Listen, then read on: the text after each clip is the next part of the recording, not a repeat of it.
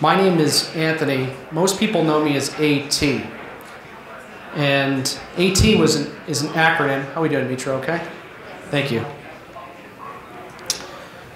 Mo most people know me as AT because it was my badge or an acronym on the trading floor. Most people refer to their counterparties as that acronym. That acronym is a structure that represents who your counterparty is, who you trade with.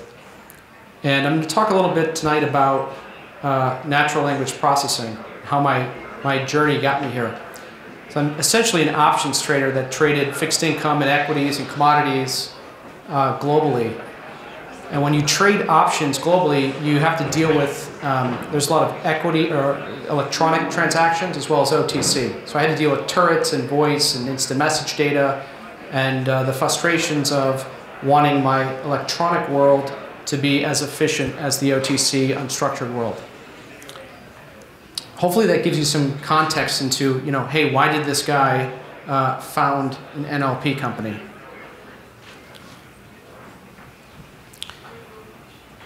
So we're, we're going to talk about uh, natural language processing. Uh, I wanted to talk about building awesome culture, but Mazi said, nah, talk about NLP. Uh,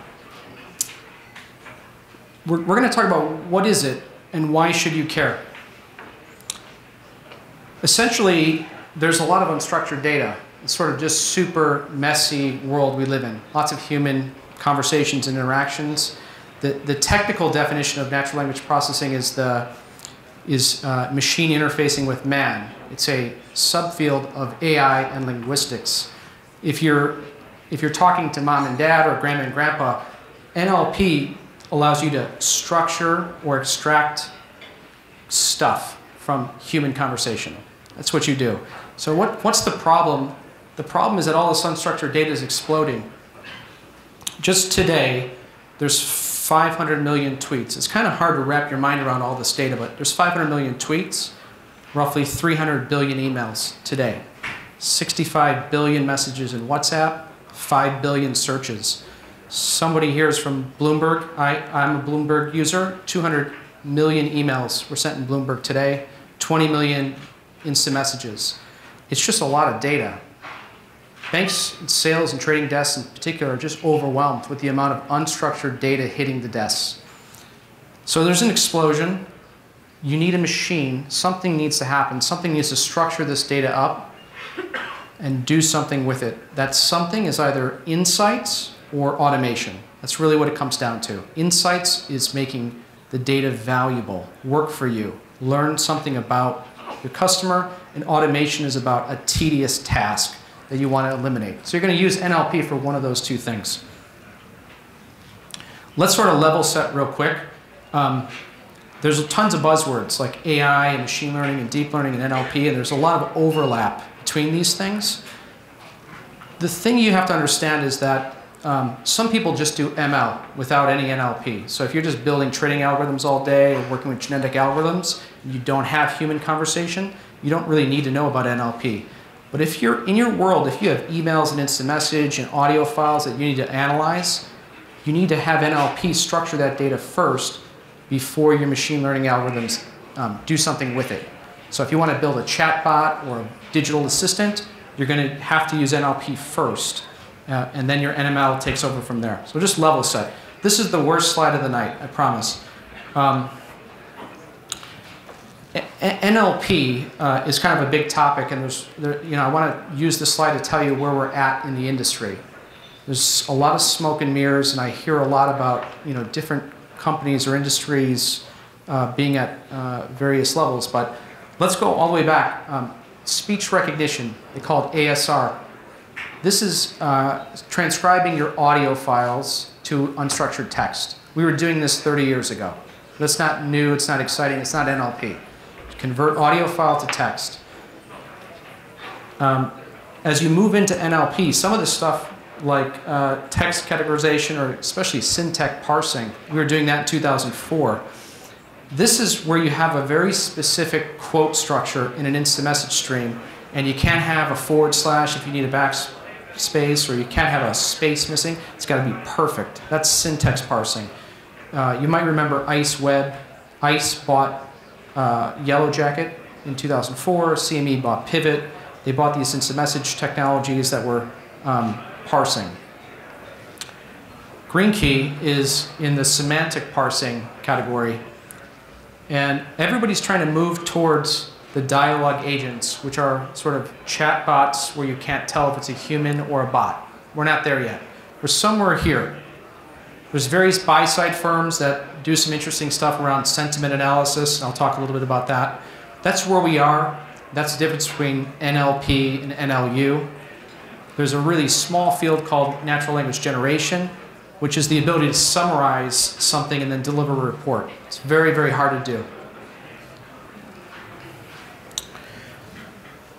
Okay, so why, why don't you have NLP in your lives today? Like at work, why aren't you leveraging it or using it? You probably have it in your phone.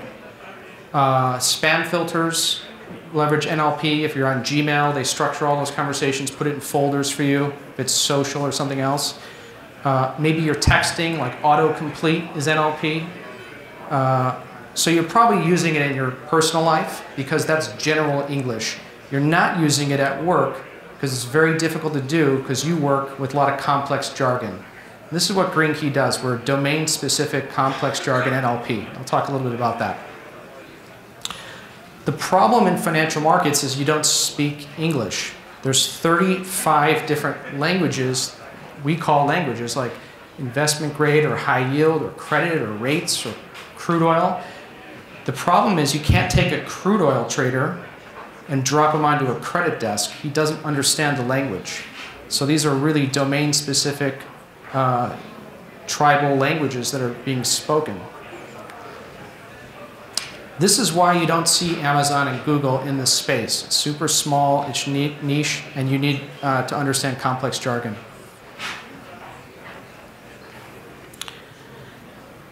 This, the way that you build NLP for complex jargon is you need a studio. You need error corrections and feedback.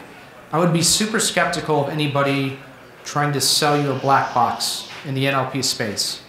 You need error corrections, user feedback. You want to have your subject matter experts click and change something when it's incorrect. The machine needs to learn.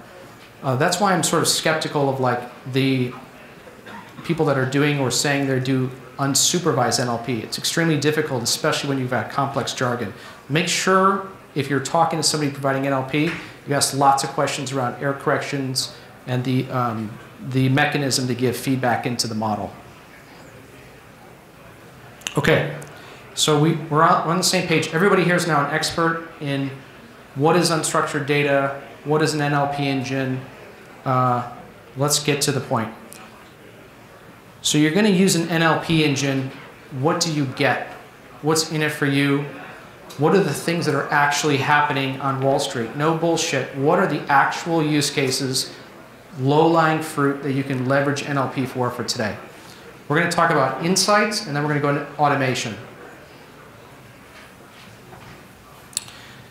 I'm not sure if you can see this, but this, this is like the most basic uh, use case we come across, which is hey, uh, I've got all this data, like Bloomberg files, audio, emails. Can you structure it up and tell me what my customers have asked for? A lot of banks know what traded, they don't know what they asked for. This is a lot like um, what's in your customer's cart. So Amazon knows what's in your cart. You might not have bought it yet, but they know it's in there. This gives you the ability to understand who's asked you for what over the past six months. So when somebody asks you for Coca-Cola, you don't have Coca-Cola, you, you know, uh, well, I can sell you some Pepsi and I know where I can go get that from. So it allows you to map your counterparties quickly by understanding who's asked you for what over time.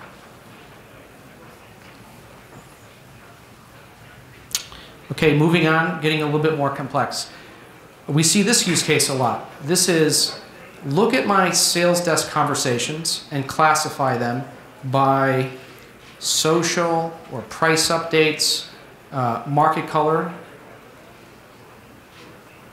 or transactional. Here's why this is super important.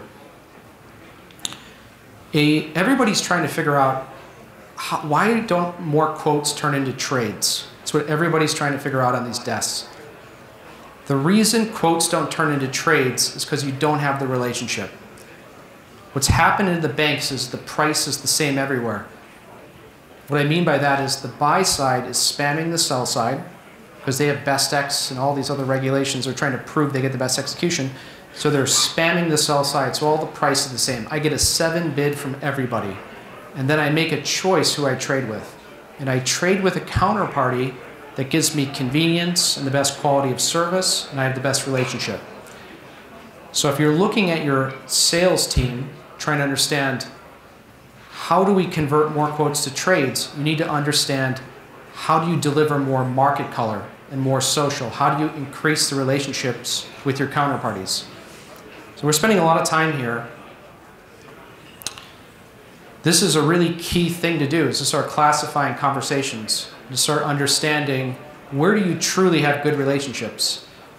We go into a lot of different banks where we'll see a sales guy that spends a lot of time trying to land BlackRock, for example, and he spends 90% of his human time, but there's very little deals that result from that. Uh, so you can't improve what you don't measure. So classifying conversations, super important. This is a lot of information. Let me sort of break this down. In the first use case, we talked about structuring products being mentioned. Then we said you can classify conversations. Ultimately, what people are trying to do is to build efficiency scores, to understand like where is my communication most efficient. So you can look at how many minutes of audio you spent, how many minutes of chat you spent, how did the sales desk allocate their time, and what were the net deals.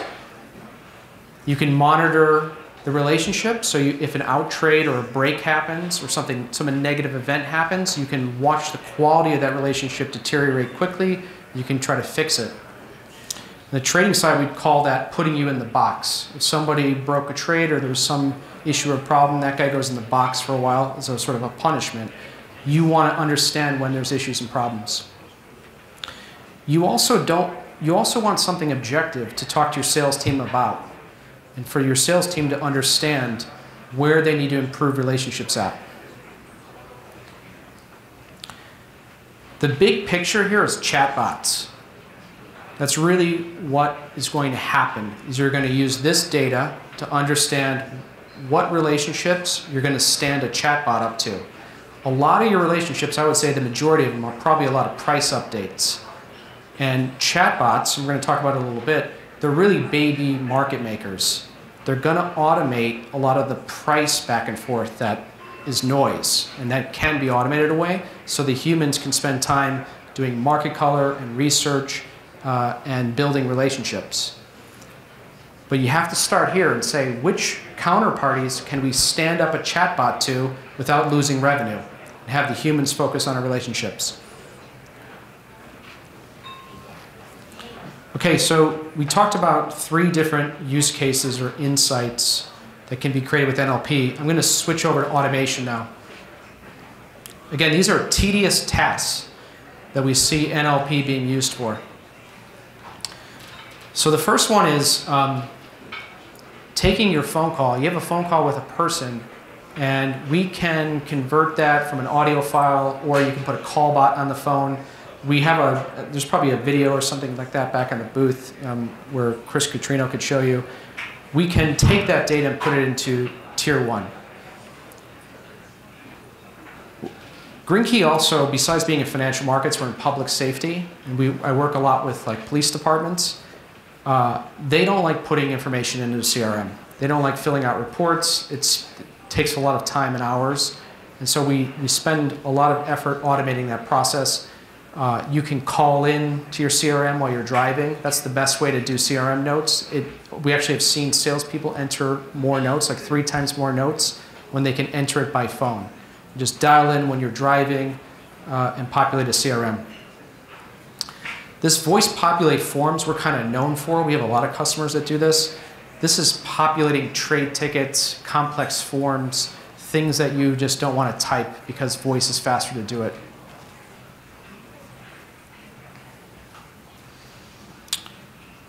I, I mentioned a little bit about bots earlier, and uh, you know this is not hype, guys. Like bots are for real, and you're going to look back at the industry at this time and say, "Oh, that was the birth of bots." And NLP is the operating layer powering bots. You might have heard or seen or read about um, like JP Morgan's Betsy or Alliance Bernstein's Abby. NatWest announced Scout. Symphony just announced Spark, uh, which will become their bot. People use the word bots for different things. Typically, they're talking about a digital assistant um, or a pricing engine. I think Kim showed uh, putting Bloomberg data into a pricing mechanism. We see that a lot. But they're really, they're baby market makers is what's being built. They're the things that are going to communicate commoditized flow back and forth, and the humans are going to focus on relationship building.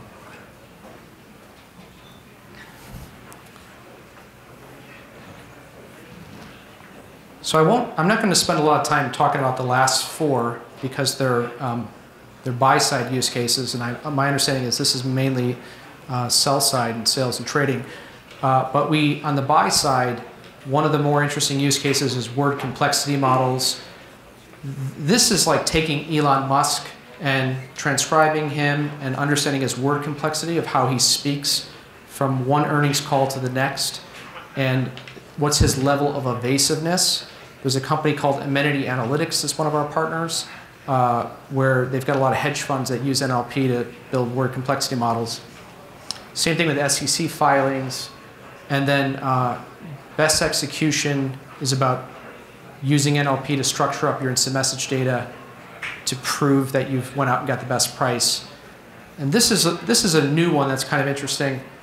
Uh, we have a couple of buy-side firms that are mapping the research that you guys provide to them to the actual trades they did, uh, so they can rank and sort through uh, where they get the best uh, advice. So I, I just want to leave you with, uh, you know, nat natural language processing is not nice to have, guys. It's like electricity. You have to have it. If you don't have it, you're going to be in the dark. It's going to power all forms of automation over the next five years. So I'd encourage you to, whoever your NLP provider is, hopefully this, you've learned something tonight, uh, and uh, this wave of automation is coming and NLP is powering it. Thank you very much.